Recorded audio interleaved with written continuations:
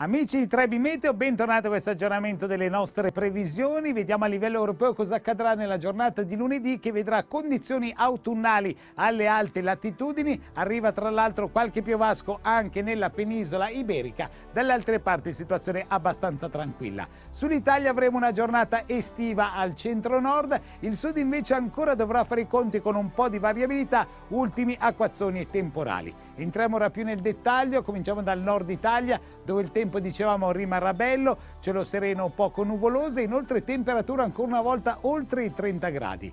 Nell'Italia centrale situazione anche qua nel complesso tranquilla, non mancherà qualche nuvola e qualche breve piovasco nelle zone interne di Abruzzo, Molise e Lazio, ma fenomeni sporadici. Invece dicevamo al sud, a parte la Sardegna dove il tempo sarà bello e le prime schiarite sui settori occidentali della Sicilia, dalle altre parti non mancheranno acquazzoni e temporali. Con questo è tutto, per dettagli vi aspetto su trebimeteo.com.